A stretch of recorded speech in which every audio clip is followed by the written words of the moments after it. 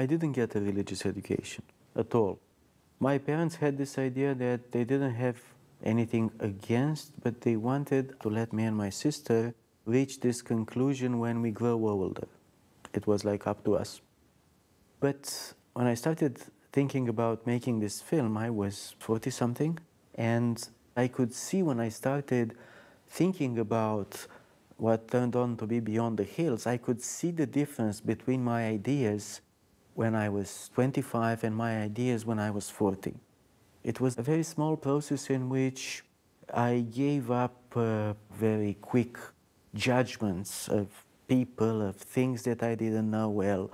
I started, I don't know, taking some time and actually asking myself, so what, what is a little bit more deep inside this thing before just judging it? And there was this piece of news coming out in 2005, probably, I think, that a girl died in suspicious conditions at a monastery. And I could see the spectacular potential of the story, but I was afraid it's just a very spectacular story, that kind of piece of news that people want to read about. But what was it about? And I decided that I won't be making a film out of it unless I understand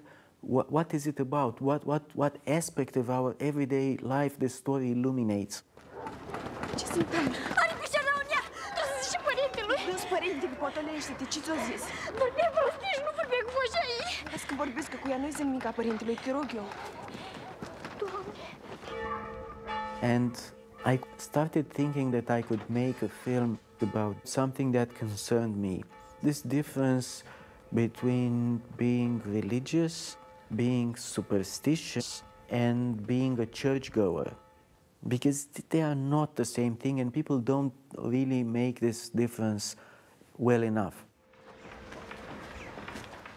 And at some point, thinking a lot about it, I saw a possibility of speaking about two things about love and of different exceptions of what love is, and speaking about how relative it can be to distinguish good from evil in our everyday world.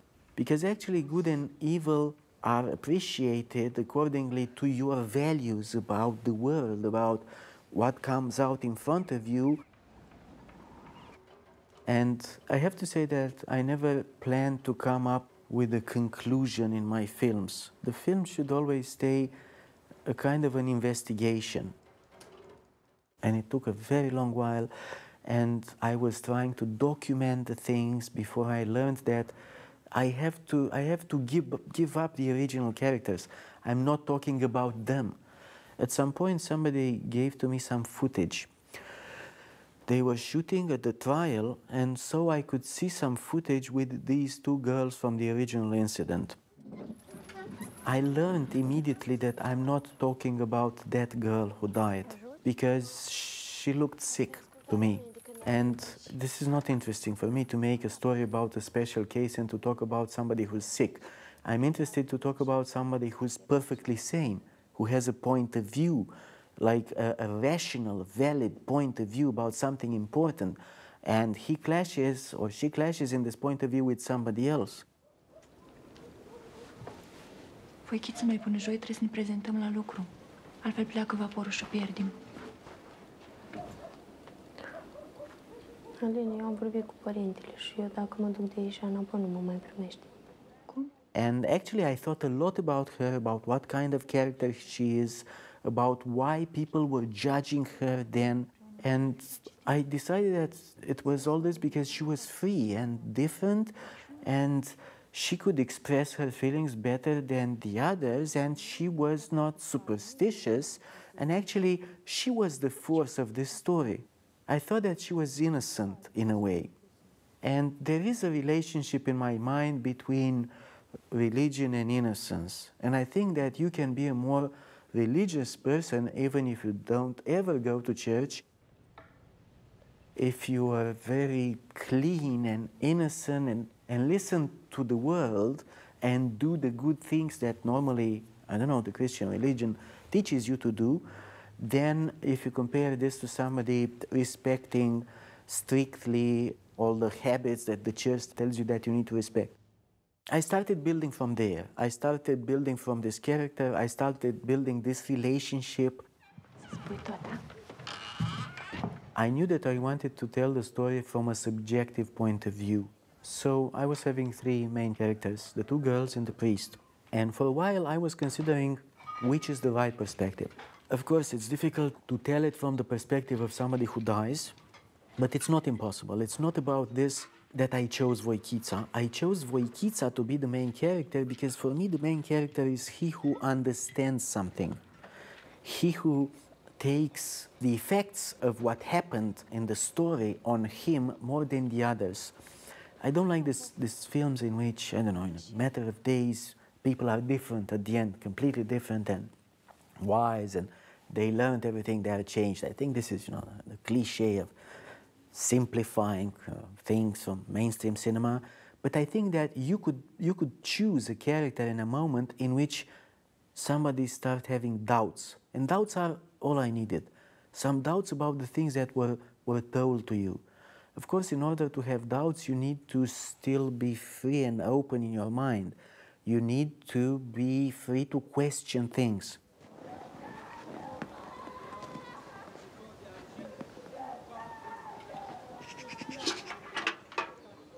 Why are you doing the things that you do? Maybe there is a reason, but have you asked yourself why? Very often people just get into this routine and they don't ask. They consider that it's not good to ask, it's good to do. And I thought that as Voichița was evolving, she might start having some doubts about the routine, about the attitude for her friend, about the nature of the love that this friend has for her, of the nature of love that she has for her friend, and of the attitude of all this group of people, and most importantly, about the nature of the evil. What was the nature of this evil? Where is this evil coming from? Do we know for sure? Can we be sure that we can cure this? And I thought that by the end of the film, she can have enough doubts so that at the end, she might at least consider that maybe this wasn't the only way. Maybe she wasn't right.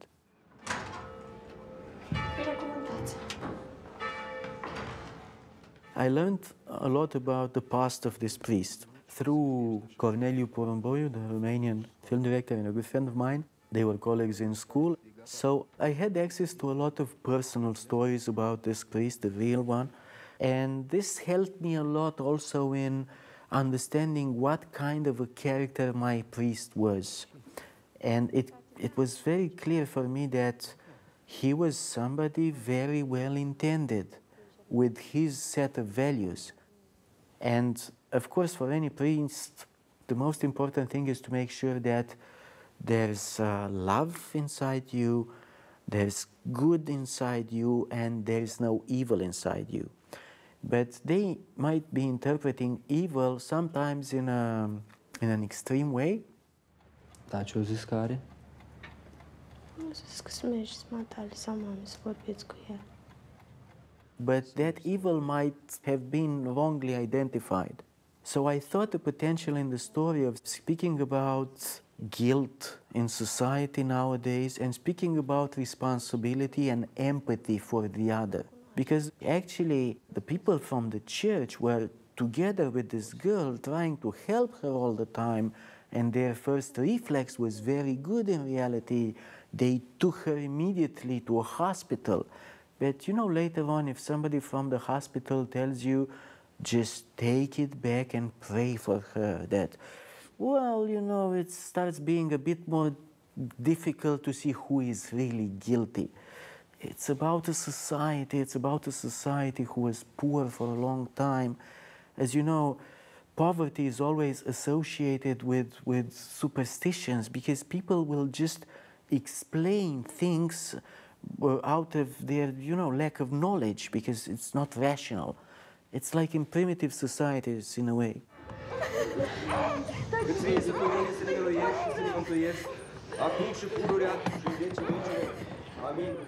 And there was a conversation that I was having with my actresses a lot of times about the end of the film and about this priest and about the fact that if you read some religious books and you place yourself in his shoes, you might learn that from his point of view, he succeeded in what his mission was. He succeeded to take out the evil from this girl while she was still alive. Eventually, after this, she, she died, but he was not connecting these two incidents. Deși el stătea acolo și eu îi citim. Ce citați? Sfântul Masu, molitele Sfântul Vasile și alte rugăciuni.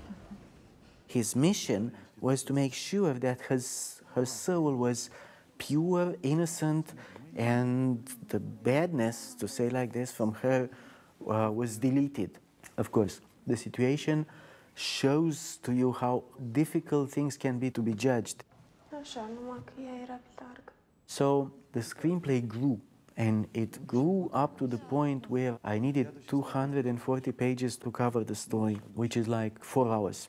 And at the same time, there was um, a pressure on top of me that I felt uh, it was accumulating. Um, if I was to shoot that screenplay, I needed to, to find the right actors Am uitat dacă ea să hotărâ să vină la noi. Haideți, mami Elena, să ne grăbim că trebuie să ajungem. And at some point, while writing one of the original versions of the screenplay, I realized that there's a connotation which was very important for me in the screenplay, which was the regional accent. The story happened, and not by accident, in our part of Moldova in Romania. And everybody in this country associate Moldovans with stupid people somehow, and simply because of the accent. Mami Elena, matale nu știi câte păcate am eu. Că o trebuie să-mi dai părintele o mie de mătănii să fac. Doamne, mai Alin, dar și păcate să ai tu, mai mamă. Astea colorate să le dai pe tăti, mami Elena. Și ai negri? Astea negre le luăm cu noi, nu, mami? And I thought that since the original story was placed there and since this plays an important role in judging these people out, I wanted to keep this, even if this is just for people understanding Romanian. So I started with the idea that I want to make a cast only with actors that could speak this, could have this accent naturally. You can't fake it. I've seen this in a lot of Romanian films, it's fake. So all of a sudden, my, my choice of actors shrinked to that region. I started casting and I couldn't find the girls at the theater in my hometown where people have this accent. So I started looking randomly, but somehow in a very strange way, whenever I was picking a picture uh, from the database of actors from my casting director, he was somehow surprised because I was picking up Moldovans or people from my hometown originally. I don't know how, it's, it's a matter of looks. So this is how I came with Cristina Flutur. I asked Cristina Flutur to come and to have an audition. And when she came, I learned that she could do the accent and she's originally from my hometown and she lives a couple of streets away. Stai la jos, pregătesc. She had this kind of an innocence, she had this kind of cleanness of soul that I wanted. She could relate to the poverty and the situation. And I knew once I found Cristina that the most difficult part of the casting was there. So I started uh, preparing the film, and I learned very soon something that there was a flaw in all, the whole plan. The church wouldn't allow me to shoot in one of their locations. And I learned this very, very soon. And then I realized that I don't even want to shoot necessarily in their locations because I was imagining that there might be religious people in the crew, and I, I, you know, you couldn't really work there if you had to stop uh, for the mess, for example, and wait for the mess. So I said, look, uh, we will do something else. We will look for the right location and we will build it. For once, we need to have the budget to build this. So instead of scouting for a church, we started scouting for a hill. A hill that would be nearby a church, nearby a small community, and I needed a location that could generate this kind of shot where I could link directly the view on a small town from a distance, from their distance. But when you turn the camera, they would be completely apart from all this. So eventually, after a lot of scouting, I came up with a hill like 100 kilometers away from Bucharest. So we decided to build there. But of course, we had to bring everything. There was no light. So we had to bring light on the hill. We had to bring some water on the hill. We had to bring some, you know, to camp somewhere. So it, it was clear that this is going to be a, a, a difficult process. But I was hoping that because I was rehearsing with the actors in the set, even when the set was still being built, they would treat it as a set. But I was wrong. I was completely wrong.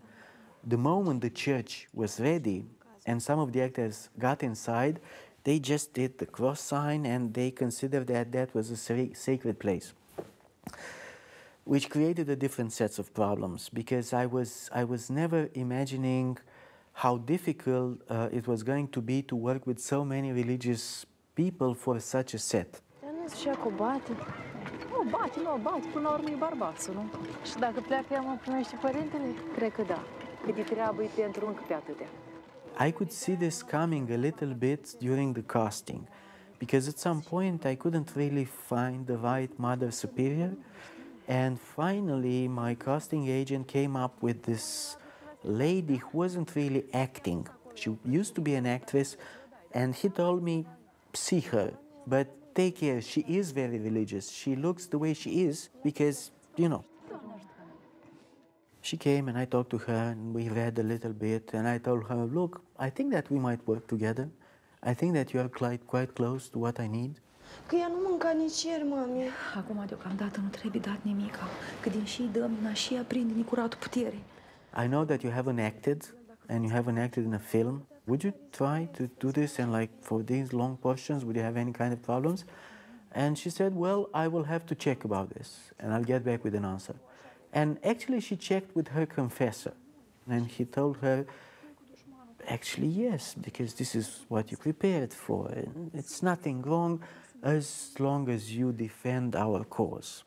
So she came to me, she told me this, and I said, okay, but then I need to know what would this cause be, just to make sure that we work for the same film.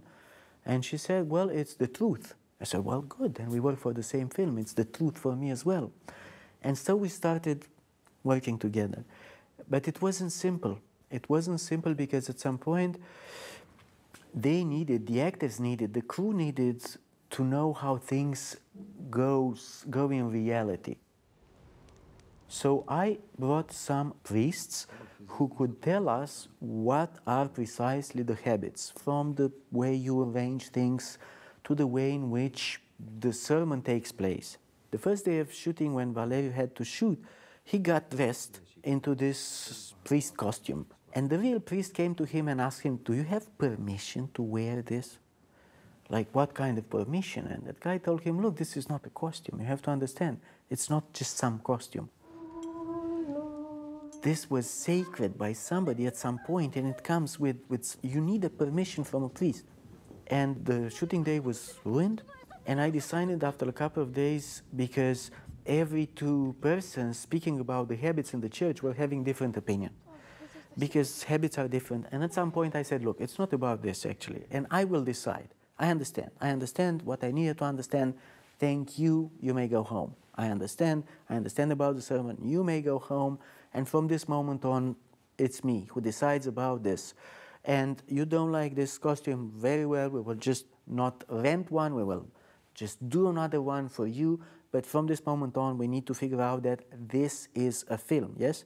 And this is wood. This is not a church, it's just wood. We built it one month ago, it's not sacred, there's nothing holy in here. Let's focus to our film.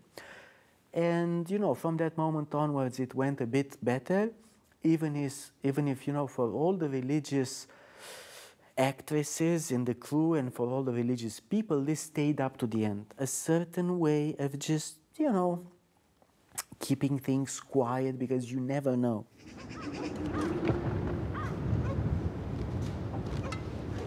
For the first time in my life, I was doing a film in which nature was playing an important part.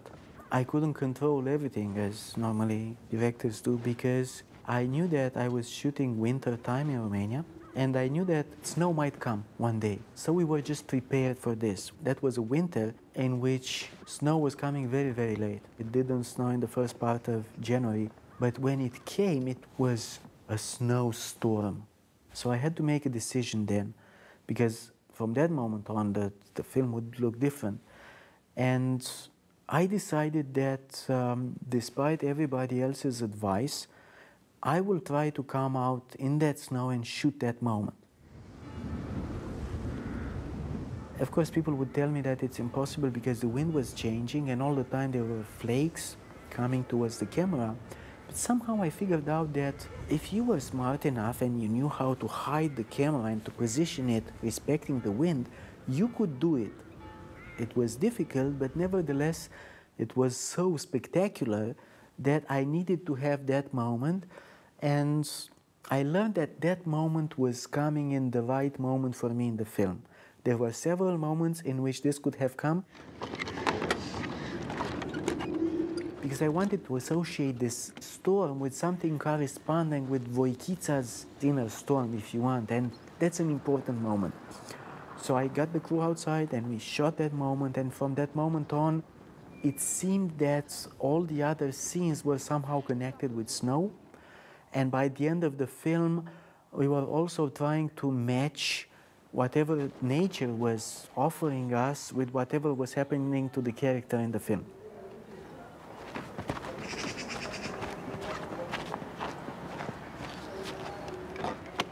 We couldn't shoot digital. We made some tests, and it was so cold outside that you needed to shoot on a mechanical camera. Part of the film was shot at some minus 15 degrees Celsius, and even when you had minus 10, well, it's not nice. It's difficult to focus. It's difficult to focus on what you have to do.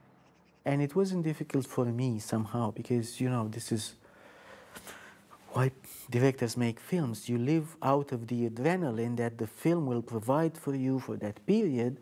But I think that apart from you, it's the cinematographer and the actors, and if you're lucky, maybe the sound people and the gaffer. For the rest, it's very cold because they have a lot of poses. So it was a very, very difficult period of shooting. Cam mai febră tu. Tras curentul întreg, cred. Faci obiecții? Dar n-am spirit. Am. I decided working with the sound people that I need to make sure that whatever they say while whispering, I will have to understand. So we planted a lot of tiny microphones everywhere on top of the microphones that the girls were having on them, just to make sure that we record everything in real time. Vine postul și trebuie să fii cu mare grijă. On top of this, we were trying to record a lot of natural sounds from the situation.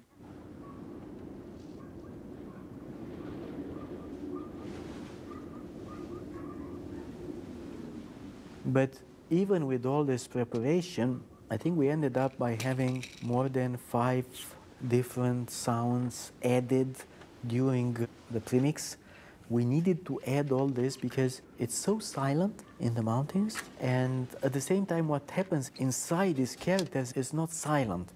They have a lot of emotions. So, how will you match what they feel with what you see in the shot in terms of rhythm and with what's inside. And this is where we always end up by working a lot with just the, the slate of sounds that the situation would offer to us. But you know, there are some other things which are great. There is a scene in the film where finally Voichița decides that what's happening is not good and she will set free her friend. Alina is chained and it's cold outside, so she wakes up in the night, she goes there, she unchains Alina, and she leaves, hoping that this is enough for Alina to just understand that she might fight for her life and go. And then she goes to her cell and she sits like this on the bed, listening to make sure that what she wants is really happening. And you hear this. You hear some chains. You hope that it's her chains. And then you hear the, some steps.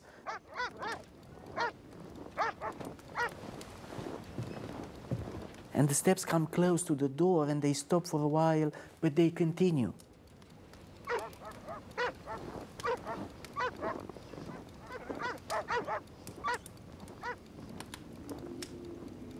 And then you hear the gate.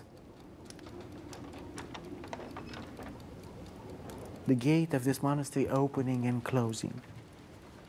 And then, you know, she's relieved that she managed to do this and she gets to sleep. Cum? And of course, in the morning, you see that Alina is she's still there, and it's very easy to imagine that there was somebody else. And it's the power of hoping that things are happening the way you want. But in the film, this was only expressed through sound and through the acting, through the acting of, of Cosmina Stratana's Voichița. Because, you know, what I ask my, my actors to do is to create this music that I'm not hearing. They might create it from inside. You must feel, you must be there with them. And the only thing I need to do is to, to make sure that they are, they are not faking too much the situation. They really have this capacity of being empathical to the character. And then I need to find the right position of the camera to capture this. And as much as you know filmmaking is relative and sometimes you know that you don't know if it's good or not sometimes you see that it's good when when you see this thing happening when you see this emotion when you work with some actors who are so generous and skilled enough to place themselves in the in this position of their virtual c- characters it's very difficult to tell the difference between fiction and reality and you capture this and that's a moment satisfying in itself. Haideți să stăm un pic de vorbă. Poate ai uitat să zici ceva la spovedanie. Ai uitat? Haide, Alina. Haide că dacă zăși și să vezi cum te liniștești. And there were a few moments on the set when people kind of like lost their temper because they were fighting so much for their own point of view in this religious story that, you know, it, it became physical in a way. And I had to calm them down because you could feel the adrenaline pumping into them all of a sudden because it wasn't about their characters, it was about you and me and about being right.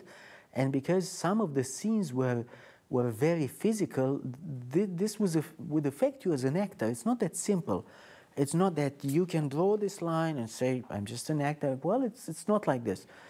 And I think that we all knew what we were talking about, and we learned the night when we shot the first outburst, this evil outburst that uh, Alina is having.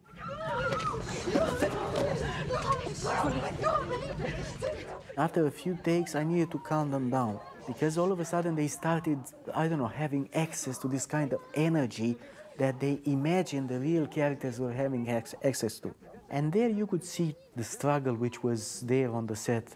And every film is influenced by all the things which happened to happen to the people working for it in that period.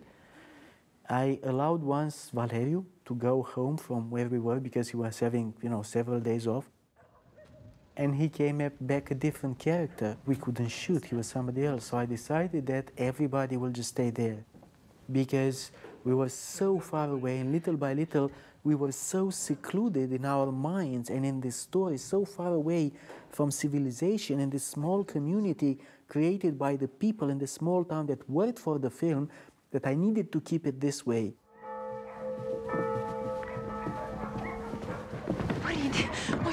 Clopotul și o vorbească matale.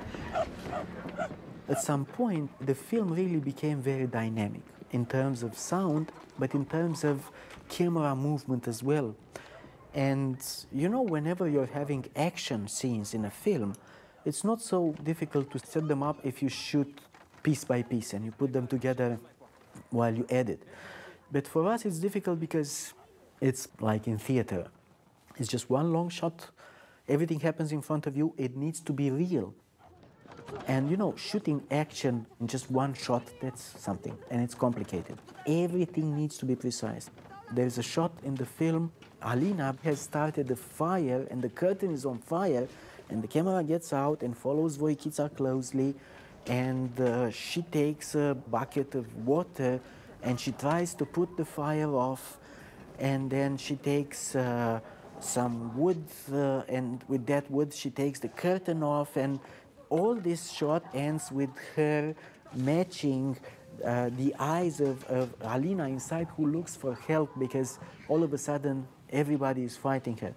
Shooting that thing is very complicated and it gives the actors, I don't know, the energy which is very close to the real thing.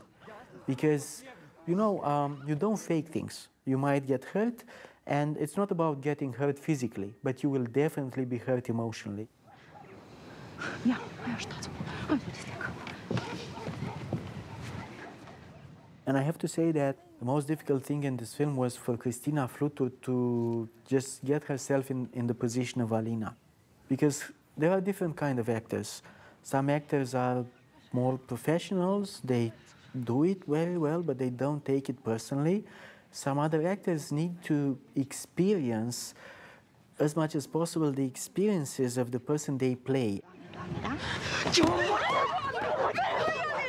She was that kind of an actress. And she had some, you know, a lot of miserable days during the shooting because she felt very close to that character and she was trying to keep her character outside her working hours. And I think that the film turned out to be so good and they were so good as actresses because they felt a lot of empathy for the situation, for the relationship between these two girls we had the premiere, and at the premiere, we asked a lot of people to just come watch the film, including a lot of religious people and a lot of priests. A few months later, some articles about this starting being generated from the from the parts of the clerics, saying that actually, you know, um, the film is not against Christianity, and actually the film does something good, in the sense that it's not judgmental, and this is good enough. And little by little, um, I started getting this information that the film was more and more viewed, regarded, watched in the monasteries. O zis că vrea să spovedească. Da, așa au zis, că vrea să liniștească și Păi dacă vine la spovedanie, o să trebuiască să-i dau canon, că n-am cum altfel. i-a spus tati. And somehow, one year later, they started having the feeling that maybe this was one of the good films about the essence of Christianity and about the Orthodox religion which was being made. And because the film is so not judgmental, maybe it's good for younger people stepping inside that film to think about what this film shows to them. And to be honest, I was pleased by this reaction. I was pleased that they had the patience to watch the film, first of all, and that some of them had the openness to think about what the film was trying to tell them because the film is just encouraging you to analyze, to have your own opinion, not to just sit behind your chair pretending that you know something before you think about it in detail because we speak about, about important things. Are you sure you make the difference between having faith, being religious, or being superstitious? I'm not sure. I'm not sure that you spend enough time in your life to do this. Try to figure out what is the difference. Try to figure out what are the real causes of your behavior in, in your real life. And try to figure out if, you know, being a Christian is more about helping the others and being empathic to the others or going to church every Sunday. What is your attitude towards somebody who needs help? That maybe defines what being a Christian is. So I thought that, you know, the film speaks about a lot of important things that no matter uh, what your religion is, is, is good to think about it. Ieși și te depărtează de roaba lui Dumnezeu, Alina. Teme, fugi, pleacă, depărtează-te. It speaks about what happened whenever you're not questioning a set of rules that was given to you, even if it doesn't have much to do with religion. But you know, the, the most atrocious things during the history was made in the name of love for uh, your God and coming out of religion, just as a proof of faith for, you know, the thing that you accepted. Maybe it's good to think about, about this a little bit. And I was happy that little by little, I think that I generated this feeling quite on a larger scale. And one of the best comments that I collected was coming from both sides, here or there, that, well, you know, maybe I won't be that judgmental now, that I've seen the other's point of view. And this was coming to me from religious people as well, but from, uh, you know, people who hated completely this idea that maybe there is something in religion. So I thought that, in a way, from this perspective, uh, one of the things that the film was trying to do succeeded.